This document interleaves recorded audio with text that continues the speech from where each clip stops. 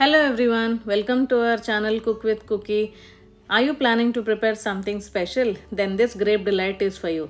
This is so yummy and mouth watering and also you can enjoy this dessert with your family anytime. This is such delicious dessert with simple ingredients that are available in your kitchen you can prepare it just within no time so let us see how to prepare this grape delight first of all here i have taken half a kg of grapes that is black grapes i have washed thoroughly and then i have added into the blender and blend it into fine juice without adding any water. Now take a bowl and place a sieve on top of it and then strain all the pulp and then collect the juice into a bowl. Now once you have collected the grape juice now take a pan and add the grape juice into it. Here i have added four and a half cups of grape juice into the pan. For four and a half cups of grape juice i have added 1 full cup of corn flour. That is 8 tablespoons of corn flour. Now you need to stir it properly without any lumps in the grape juice. Now after you have mixed it nicely now it's time to add sugar. You can check the sugar or sweetness according to your taste because some grapes they are they'll be very much sweeter.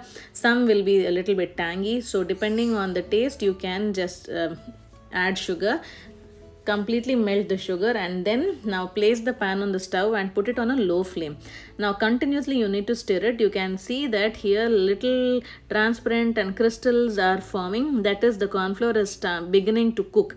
So you need to put it on low flame and then stir it thoroughly for one to one and a half minute after one and a half minute you can put it on medium flame and you need to continuously stir it nicely. If you stop it in the middle there are chances that the corn flour or the grape juice will become lumpy. So you need to stir it continuously.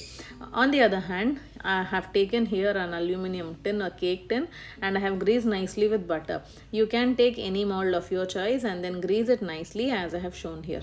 Now you can see after 7 to 8 minutes of stirring it has come become a little bit thicker.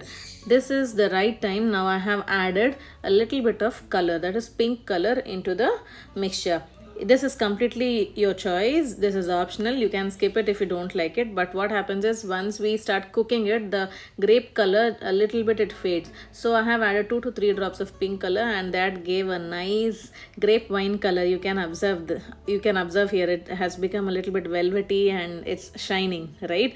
So on medium flame stir it thoroughly and you can observe that this has come into a ribbon like consistency and a little bit transparent and thick. Now this is the perfect time that you need to turn off the stove and then you need to transfer it into our cake bowl if it is a little bit thinner consistency you need to stir for another 2 to 3 minutes. Because if it's too thin or too thick you won't get a perfect grape delight.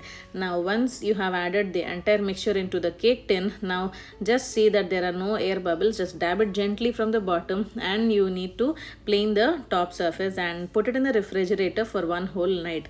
The next day morning see our grape delight is all ready. Now demold the grape delight by taking a plate and then our grape delight see it's so yummy. It looks so attractive right? Here i have taken some desiccated coconut.